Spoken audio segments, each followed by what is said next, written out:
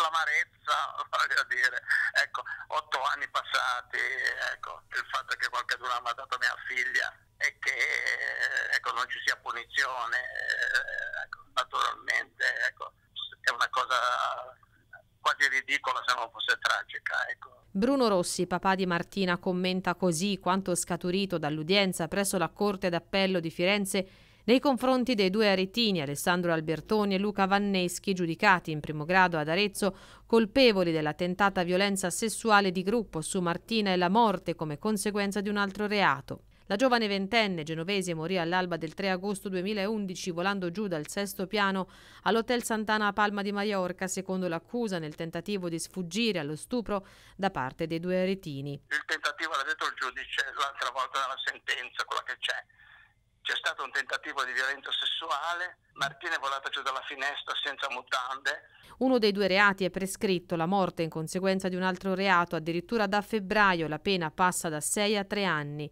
A chiedere di fissare celermente l'udienza di secondo grado erano state le parti civili, segnalando la possibilità di prescrizione del reato che sarebbe avvenuta il 9 dicembre, se considerato una fattispecie autonoma. Interpretazione non condivisa dalla Corte d'Appello che ha quindi dichiarato estinto il reato reato. Il processo è stato rinviato al 25 settembre 2020 con seconda udienza al 5 ottobre. Nell'ipotesi che la violenza di gruppo venga derubricata violenza individuale, ossia che Albertoni abbia fatto tutto da solo e che Vanneschi sia stato un mero spettatore, il reato si prescriverebbe il 9 dicembre, molto prima che il processo entri nel vivo. In aula a Firenze si è presentato per la prima volta Luca Vanneschi. Oltre la pena anche l'amarezza per i colpevoli e per tutto l'apparato, diciamo così, ecco, che ha fatto perdere così tanto tempo.